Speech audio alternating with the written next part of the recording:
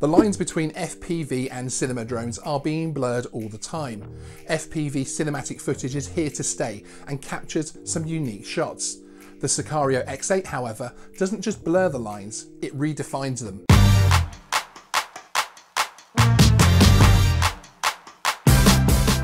Hey everyone, my name is Sean and welcome to Geeksvana. Coming up today, we're going to be bringing you all the details of the latest project on offer from Quad Standard Labs, conceived and perfected on set by Gabriel Kocher and Andy Shen. This includes highlights from a sit down I had with Troy himself from QSL. Before we launch into it, Geeksvana is a channel focused on drones and tech. From the latest drone news, interviews, and live streams, we put the geek in your tech nirvana. If that sounds like your kind of thing, subscribe and hit the notification bell to get your drone news first. The Quadlab Siccario FPV Cinelifter is a marvel of technology which has been carefully created and moulded to form a viable platform for the video production industry. Capable of producing high-end cinematic footage via either a Zcam or Red Komodo camera setup, the Siccario also looks damn sexy developed in secret on set by Andy Shen and Gab707 to deliver a dynamic platform capable of smooth and steady shots, whether at low speed or thundering along at over 100 kilometers an hour. As you can see from these pictures, the Siccario has the option of the DJI FPV system to provide a high quality link to the pilot, giving you more chance of securing that multi-million dollar movie moment from a unique and audience satisfying angle. Quad Standard Labs offers the platform in a ready-to-fly format, tested and tuned. They even offer their own form of refresh to help with repairs and upgrades along the way. The QSL online drone builder shows base models starting from just shy of $4,000, with some setups taking you much closer to 8,000. This really is a serious piece of kit. Recently, I sat down to chat with Troy from Quad Standard Labs, and here are some of the highlights. How did the the Cinelifter actually come about? Where, where, did the idea come from? Um, so FPV Cinelifter, the kind of coined the terminology actually goes to Benoit Finnick, um, who's Finky FPV. A lot of people know him that way. Uh, he's the guy that's done, uh, he laid the groundwork, especially in Europe, as far as uh, I, I, don't even want to like downgrade him or, or like you know uh, uh, make it uh, insult him by calling it marketing material, but he really does like he has an eye for using FPV in the application of like how can we capture these perspectives or these things with these new perspectives, right? And and and it's not that it you know he does you know marketing material stuff you know all the way up to high high level graded stuff on set so mm. um, everything that he's doing uh, has really inspired and transformed just from his perspective a lot of our stuff so um, when when he's he kind of to my understanding kind of st- started that terminology and now once we started seeing this crazy stability where we're like, hey, if you can tune your aircraft right, you can basically throw a GoPro on there and it'll mm-hmm. just it'll capture some awesome stuff. And then, you know, obviously stabilization comes into play with heroes and all that. So that quickly even changed to where tuning still is a huge thing when it comes to the feel of the aircraft, but even with the vibration, now we're a little bit less tolerant or a little more tolerant it seems because some people just say, "Eh, if it's got a little vibe, I'll throw hyper smooth on." So at that point that's where these guys with bigger cameras start going, no, no, no, no. We see that if we can tune the right aircraft the right way, we really can get a pretty clean image to begin with. And then from there, sure, we can clean it up with traditional full format, real on production st- style stabilization.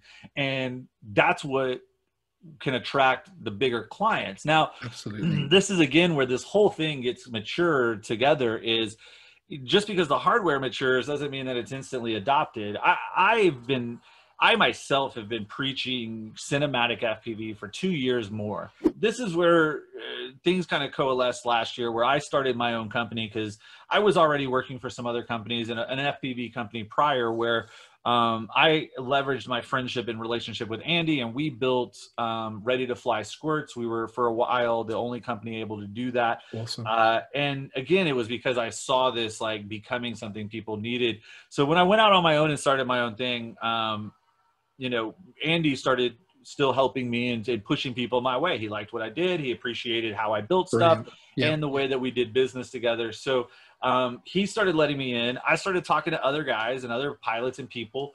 and um, I I I don't know how to to shoot. Like I'm not a camera guy, so I don't know what people need. Um, the pilots do though, and so as these guys start maturing, and a lot of them have embedded themselves into building their own stuff, like Gab and Nurk. Yep. Um, these guys have also worked with with Andy to basically try to perfect whatever specific thing they need. Excellent. So this is where Gab come in, and and Andy have been working together for forever. I started building just anything that people were using professionally and i was recommending the things that gab and andy were building because gab was showing it worked and andy was making them and built selling a bunch of them so that's what started me building just basically anything that was a Shendrone that could be used and starting to focus on the specifics of the hobbyists are hobbyists and we love hobbyists but the business is where uh, we need to really focus as professionals because they're willing to pay a, a, a quality dollar for a quality product and as long as it works and is supported and it does what they need i mean that's what they do all day long. And again i think this is the maturity of the the the fpv side and the guys that have the ability to shoot starting to understand the business. And so mm-hmm. that's where even though you still have these people that know how to shoot they know how to fly but then you have on the other side the creatives still that just still aren't there yet right? And so this is where we were last year is you know, we could build some heavy stuff, and that's where they started thinking about this stuff. But it didn't matter. Nobody wanted it. Like, who was going to ask for it? And so that's where we had to start figuring out how to get these things on the sets and stuff. So building bigger ones and getting them to carry bigger lenses and stuff and bigger cameras. You know, Gab and Nurk and these guys started being able to show, like, look at what it can do. And yeah. you, know, you get one or two Some impressive directors stuff. or people or creatives, you know, really embedded in, in the industry they'll start talking about it. Next thing you know, they're pulling up YouTube videos and they're like, "Oh, okay, if we could do this with this, we could do that." You know. To, to me, it seems like you've you've brought all of that together with the Siccario, and you've you've now got this platform which not only looks beautiful. yeah, um, well, that's Andy, right? It looks so, stunning. So um, really quick, just to make sure that everybody understands, uh, the Siccario platform is basically the evolution of the Thicc platform. So Siccarios S-I-C-C with the double C was because Andy was calling it code like to, to the to the people knew about it. He was calling it Sicc. S S I C C because yes. it was the next iteration of Thicc and it was just what he was calling it. Um, just behind closed doors. So um, Andy and Gab again have been working on this for I, I, I don't even want to put a number to it. I'd say probably close to a year or more. Um, they've been working on the Thicc as well, which is the uh, Cinelifter that we've been building, and we've built quite a few of right now. In fact, I've got about five of them that we're building right now. Um, and that's what it was all kind of based on. Was that was the one that we were able to carry the BMP and basically any really full flat full platform camera you could carry on it. So what happened was Gab started shooting on the 6K BMP, but then he realized this Zcam came out, and him and Raphael and some other guys started experimenting with Zcam, and the Z cam became also oh yeah by the way red's coming out with the komodo and it just became this perfect like again if the industry is going to box cams yes we need to look at something that's going to now optimize what Thicc does one of the things that as a camera drone guy i'm very envious of when i look across the fence. Uh, although the fence is lowering, we're all coming together a lot more these days, which is awesome. Um, but with with exactly what you've just described with this project, I, I, love the FPV world from the point of view that everyone comes together. There's there, there's always multiple people, multiple companies working on a project, and then you end up with something like the Siccario.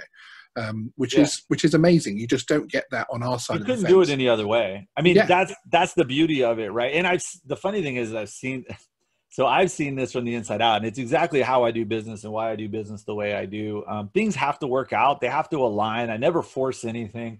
Uh, me and Gab talked last year. We talked last year. I basically I, I touched base when I started my company. I called everybody I knew and set up a phone call eh, or emailed them and said, "Hey, I'd just love to talk to tell you what I'm going to do."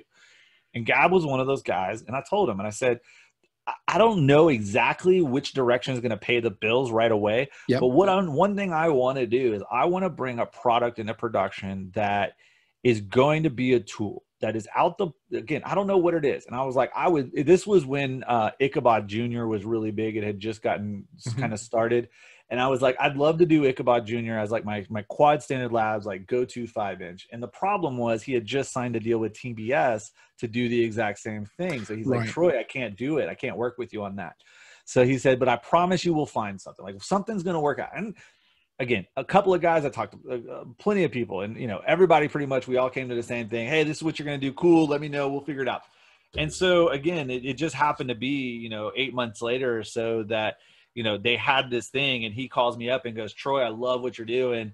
Um, looks like you're doing really well. Like you know what can we do to work together? And that that's yes. Um, i couldn't do it any other way because i'm not a shooter. I don't have it's, a, it's superb. I have, a, yeah. I have a gh85 right here. It's not a very good camera for a camera drone. Um, that's about it. So i don't know anything about shooting. So it's like i couldn't I couldn't even design the right thing. I, am not a designer, so that's where Andy comes in. So you know, and, and then Andy, I mean, I think Andy is probably the least understood or people just don't even know have an appreciation for what Andy represents or just the knowledge behind everything and the fact that he basically shares it and 99% yeah. of yeah. people don't even read it or know it exists that like mm-hmm. his blog even exists and like that blog will teach you so much about so many different things not even the drone that he's talking about if you just watch the processes he goes through so i that guy I think is so underappreciated. It, it is available from from the point of view that that that you're able to take it back in and repair it. Um, that you're also able to arrange it to be tuned to be exactly how how how the client wants, etc.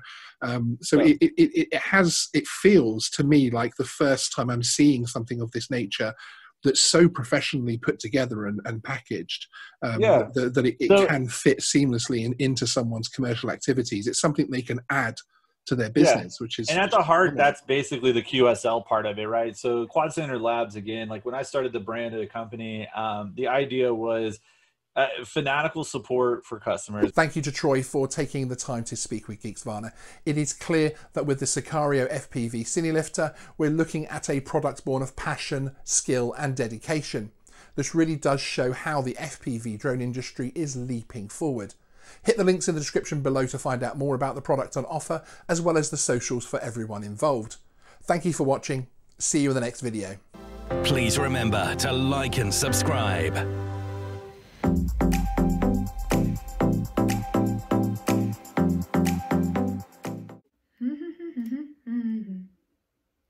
All right, you're still here. Uh, no in the seat.